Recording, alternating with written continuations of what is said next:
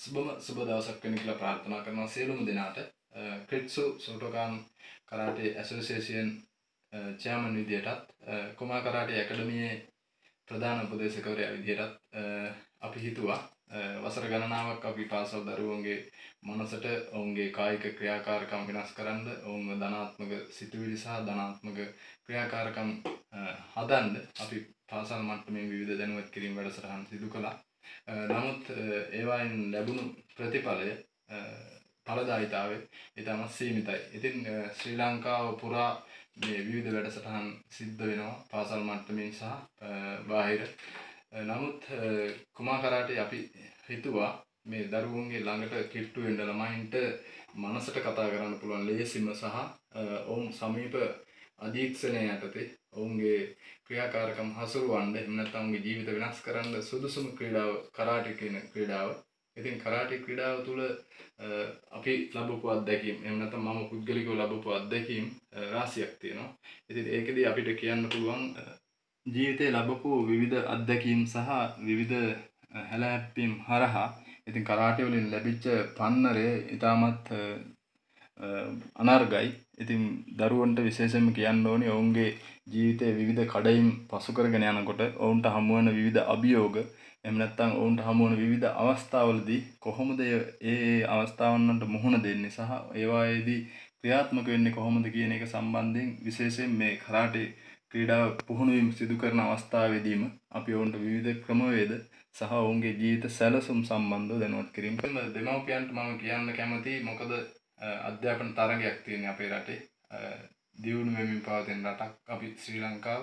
නමුත් අපේ රටේ තියෙන සියලුම ස්වභාවික සම්පත් දිහා හොඳින් බැලුවොත් පුල්මුඩේ ඉල්මනයිට්, එප්පාවල පොස්පේට්, හික්කඩුවේ කොරල්පර, ඒ වගේ ලංකාව පුරා බැලුවොත් වටේටම මුහුද. ඉතින් සම්පත් රාශියක් තියෙන රටක් අපි. රත්නපුරේ මැණික්. ඒ වගේ මේ සියලුම සම්පත් අපේ රටට තිබියදීත් අපි දුප්පත් කියන මානසිකත්වයේ දුක් විඳිනවා. ඉතින් මම කුමා කරාටේ ඇකඩමියේ පටන් ගද්දිම මං හිතුවා මේ මිනිස්සුන්ගේ චින්තනය වෙනසක් කරන්න ඕනේ. එහෙම නැත්නම් මේ සිතන රටාවේ යම්කිසි වෙනසක් කරන්න ඕනේ. සිතන රටාව වෙනස් කරේ නැත්නම් අපේ අභ්‍යන්තරයෙන් එහෙම නැත්නම් අපේ මානසිකත්වයේ කවදාවත් වෙනසක් වෙන්නේ නැහැ. ධනාත්මක සිතුවිලි සහ ධනාත්මක චින්තන වැඩසටහන් ඕනි තරම් අපේ රටේ කරනවා. නමුත් ඒ මිනිස්සු අද වෙනකොට කියන දේ අහන්න නැති තත්ත්වයට පත් වෙලා තියෙනවා. මොකද අහන්න තරම් ඔවුන්ගේ මනස යම්කිසි කාල සීමාවකට පවත්වා ගන්න එහෙම නැත්නම් ඒ වෙනුවෙන් කැපකිරීම කරන්න මැලිකමක් දක්වනවා. පාසල් දරුවොත් එහෙම තමයි. දරුවොත් බලන්නේ නිතරම මේ වෙනස් නිතරම වෙනස් විදිහේ ආකල්ප තමයි ළමයි දරන්නේ. මොකද අලුත් සංනිවේදන උපකරණ සහ ඔවුන්ට ලැබිලා තියෙන මාධ්‍ය හරහා ඔවුන් විවිධ දේවල් දවසින් දවස සොයා ගැනීම සිදු කරනවා. ඉතින් එයාලා වැඩිපුර හොයන්න උත්සාහ කරන්නේ අපි හිතන විදියෙන් වැරදි පැත්ත. ඉතින් මේ දරුවෝ නිවැරදි පැත්තට ගෙනල්ලා ඔවුන්ගේ කායික මානසික නිරෝගීතාවය හදන්න නම් ඔවුන් නිවැරදි පෞරුෂත්වයකට ගේන්න නම් සුදුසුම ක්‍රීඩාව තමයි කරාටේ ක්‍රීඩාව. ඉතින් ක්‍රීඩාවල් රාශියක් අපේ රටේ තියෙනවා ලෝකයේ ඕන තරම් තියෙනවා. නමුත් අපි දන්න විදිහට දරුවන්ට හොඳම ක්‍රීඩාව කරාටේ කියන එක තමයි මම දන්න විදිහට. ඉතින් මේ අපි දන්න දේ තමයි අපි දරුවන්ට කියලා දෙන්න ඕනේ. ඉතින් දෙමව්පියන්ට මම කියන්නේ අපි නිතරම දෙමව්පියන්ට සම්බන්ධ වෙන්න කියලා කියනවා මේ වැඩසටහන් සිද්ධ වෙන වෙලාවල් වලදී දරුවෝ කොහොමද මේවා ක්‍රියාකාරකම් සිදු කරන්නේ දරුවෝ කොහොමද මේවට මුහුණ දෙන්නේ සහ ඒ අතරතුර එයාලට ලැබෙන වෙනත් බාහිර දැනුම කොහොමද එයාලට සම්ප්‍රේෂණය වෙන්නේ කියන එක ගැන දෙමව්පියෝ පොඩි අවධානයකින් ඉන්න මොකද දෙමව්පියෝන්ගේ ඍජු අධීක්ෂණය තියෙන්න ඕනි මේ දරුවෝ වෙනස් කිරීමක් සිදු කරන්න. දෙමව්පියන්ට මම නිතරම කියන්න උත්සාහ කරන්නේ මේ දරුවෝ අපි වෙනස් කිරීමක් සිදු කරනකොට එහෙම නැත්නම් දරුවන්ට වෙනත් මාවත් පෙන්වා දෙනකොට එයාලගේ ක්‍රියාකාරකම් වල වෙනසක් සිද්ධ වෙනවනේ. ඒ ආන් ඒ අවස්ථාවේදී දෙමව්පියෝ දැනගෙන ඉන්න ඕනේ දරුවෝ මෙන්න මේ දේවල් සිද්ධ කරන්නේ මෙන්න මේ තැනට යන්න. එහෙම නැත්නම් මෙයාලා මේ ක්‍රියාකාරකම ආරම්භ කරලා තියෙන්නේ අහවල් කාලේ වෙනකොට මෙන්න මේ තැනට යන්න. ඉතින් මේ සම්බන්ධයෙන් දෙමව්පියොත් නිතරම දැනුවත් වෙන්න ඕනි මේ දරුවෝ නිවැරදි කිරීමක් සිද්ධ කරනකොට. ඉතින් මම උත්සාහ කරපු සෑම අවස්ථාවකදම කිහිප දෙනෙක් තමයි මේවට සම්බන්ධ වෙන්නේ දෙමව්පියෝ වුණත්. දෙමව්පියෝ හිතනවා මේ පන්තියට දැම්මට පස්සේ ඔක්කොම හරි. එහෙම නැත්නම් අපි ඒ නියමිත මුදල් ගෙව්වහම ඔක්කොම ප්‍රශ්න විසඳෙනවා කියලා සමහර දෙමාපියෝ හිතා ගන්නවා. නමුත් ඒ ක්‍රමය වැරදි. කරාටේ ක්‍රීඩාවට යොමු වුණ ක්‍රීඩකයෙක් වෙනුවෙන් දෙමාපියොත් යම් කිසි කැපකිරීමක් කරන්න ඕනේ. දෙමාපියන්ගෙත් යම් ඍජු අධීක්ෂණයක් තිබුණොත් තමයි එයා නිසි තැනකට ගේන්න පුළුවන්. ඉතින් මම දෙමාපියන්ට ඉල්ලන්නේ ඔයාලට ලැබෙන සෑම අවස්ථාවකදීම මේ ක්‍රීඩාව සිදු කිරීම එහෙම නැත්නම් පුහුණු වීම සිදු කරන තැන් වලට එන්න. ඇවිල්ලා තමන්ගේ දරුවාගේ මොනවද අඩුපාඩුකම්? තමන්ගේ දරුවා කොයි පැත්තටද දක්ෂ? මේකේ කාතා සහ කුමිතේ කියලා කොටස් දෙකක් තියෙනවා. ඉතින් මේ ඊට අමතරව ටීම් කාතා සහ ටීම් කුමිතේ කියලා කොටස් දෙකක් තියෙනවා. ඉතින් මේකේ වයස අවුරුදු 14ට අඩු කණ්ඩායමට සෙල්ලම් කරන්න පුළුවන් දිස්ත්‍රික් මට්ටමේ අවුරුදු 14ට වැඩි කට්ටියට පුළුවන් පළාත් මට්ටමින් සෙල්ලම් කරන්න. ඉතින් එතනදී දිස්ත්‍රික් ජයග්‍රාහකකින් සහ පළාත් ජයග්‍රාහකකින් දෙගොල්ලම ජාතික මට්ටමේ තරඟවලට සහභාගී වෙනවා. ඊට අමතරව විවෘත වෙනත් තරඟාවලි සඳහා සහභාගී වීමේ හැකියාව තියෙනවා.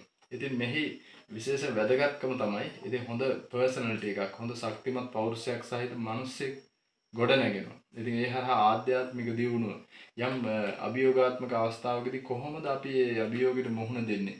කොහොමද අපි තීරණ ගන්න කියන ඒ ක්ෂණිකව තීරණ ගැනීමේ හැකියාව ඔටෝ එහෙම නැත්නම් ඔටෝ පයිලට් මෝඩ් එකකින් එහෙම නැත්නම් ස්වයංක්‍රීය ක්‍රමවේදයකින් ඔහුගේ මානසිකත්වය තුළ හැදෙන්න පටන් ගන්නවා. ඉතින් මේ සඳහා යම් කිසි කාලයක් මේ වෙනුවෙන් කැපකිරීම කරන්න වෙනවා. මොකද පුහුණුවීම් කිරීම තුළින් තමයි මේ ප්‍රතිඵල අත් කරගන්න පුළුවන්.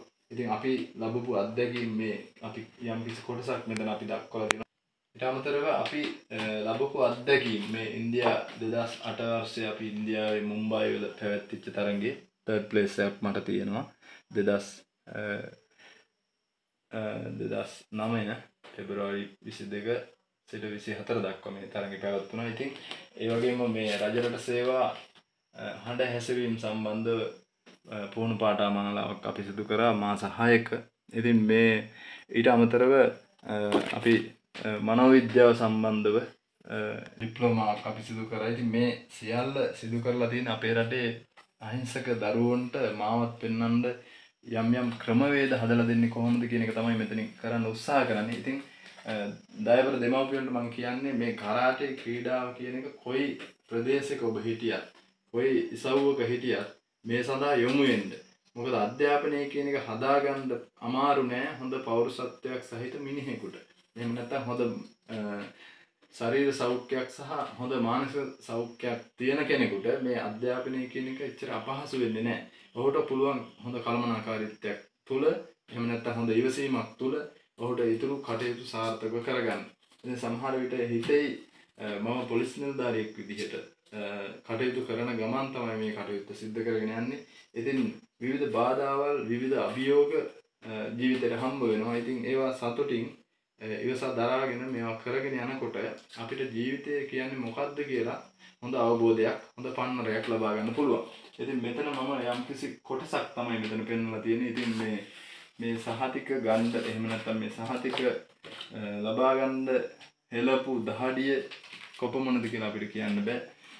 විවිධ ක්ෂේත්‍රවල අපි ලැබපු අත්දැකීම් තමයි මේ සහතිකවල මෙතන තියෙන්නේ.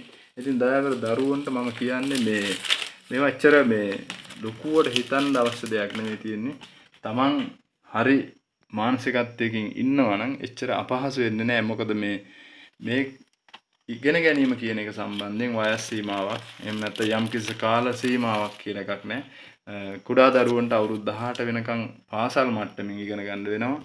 ඊට පස්සේ බාහිරින් තමයි අනිත් අධ්‍යාපන කටයුතු කරන්න වෙන්නේ. ඉතින් මෙතන අපි මේ අපේ ශේත්‍රයට අදාළව විවිධ පාඨමාලාවල් හදාarලා තියෙනවා. ඉතින් මේ මේ පාඨමාලාවල් හැදෑරීමේ අපරුත් වෙන්නේ මේ රටේ ජනතාවට යම් දෙයක් සිදු කරන්න. මොකද මිනිස්සෙක් විදිහට මේ ලෝකේ ඉපදුනා නම් අපි මැරෙනකන් මේ ජනතාවට සේවය කරන්න ඕනි කියන එක තමයි මගේ පොදු එහෙම නැත්නම් මගේ පුද්ගලික මතය.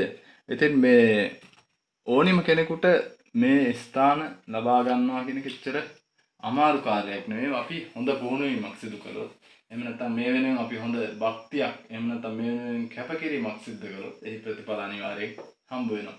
ඉතින් මේ ක්ෂේත්‍රය තුල පුහුණුකරුවෙකු, උපදේශකවරයෙකු දේශකයෙකු ඒ වගේ විවිධ පැතිකඩයන් ඔස්සේ මේක විහිදෙනවා. ඉතින් සමහර කෙනෙක් මම කියන්නේ කරාටි කරලා මේක ඉහළම තැනට යන්න කියනගෙන අපි කියන්නේ. හොඳ පෞරුෂයක් සහිත මනුස්සයෙක් මේ ලෝකෙට අවශ්‍යයි.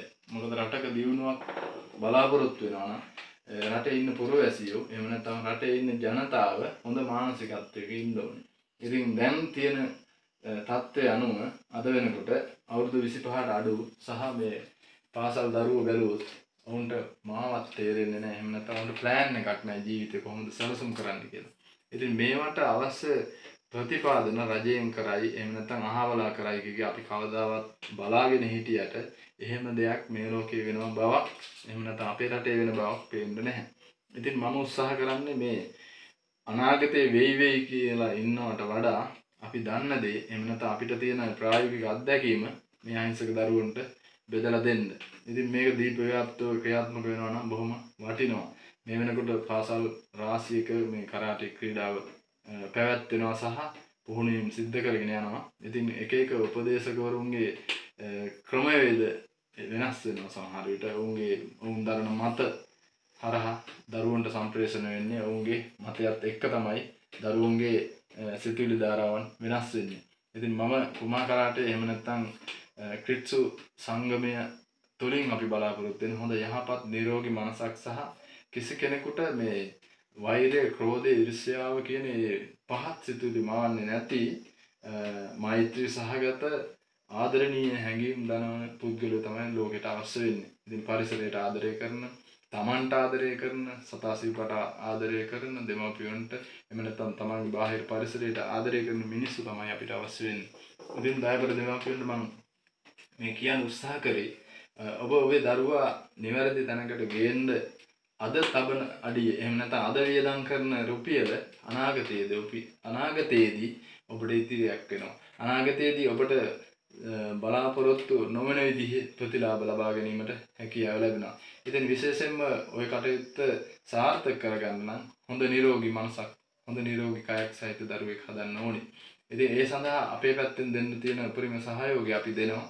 ඉතින් දෙමාපියන්ට අපි කියන්නේ ඔබ හම්බ කරන මුදල් අපතේ යවන්නේ නැතුව එහෙම නැත්නම් ඔබේ මහන්සිය අපතේ නොයවන විදිහේ යහපත් තැනකට තමන්ගේ දරුවෝ යොමු කරන්න. ඒ හරහා ඔවුන්ගේ අධ්‍යාපනය, ඔවුන්ගේ ක්‍රීඩාව, ඔවුන්ගේ හැකියාවන් දියුණු කරගන්න. ඒ සඳහා අපෙන් දෙන්න පුළුවන් උපරිම සහාය අපි දෙනවා. ඉතින් ඔබ එය තේරුම් අරගෙන කටයුතු කරයි කියලා මම බලාපොරොත්තු වෙනවා. ඉතින් බොහොම ස්තුතියි මේ සම්බන්ධයෙන් යම් තවත් වැඩිදුර විස්තර අවශ්‍ය නම් අපි සම්බන්ධ කරගන්න කුමා කරාටේ ඇකඩමිය අපි කහට ගස් දිගිලි. ඉතින් මේක ආශිර්වාදයක් කරගන්න කියලා මම විශේෂයෙන් මතක් කරමි.